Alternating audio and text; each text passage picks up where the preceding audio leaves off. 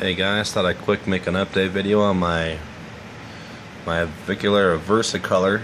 Uh, the last real video I made of her, she was a little tiny electric blue sling, and now she is uh, beautiful.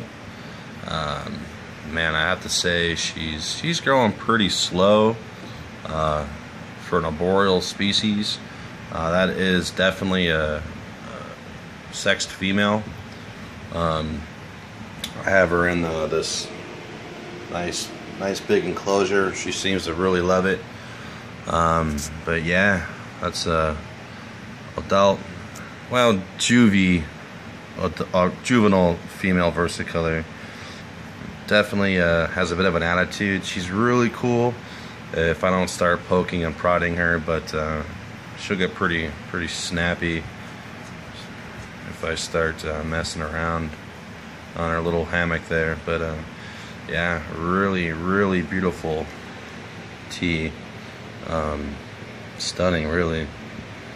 This is definitely uh, one of my favorite tarantulas in my collection.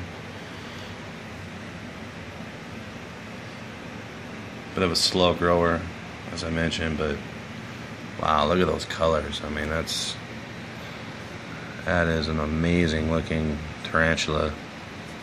Just red hairs all over her legs and her abdomen. Like shiny green carapace. I'm gonna let her get back to whatever she was doing. But uh, yeah, really beautiful spider. It's my Avicularia versicolor.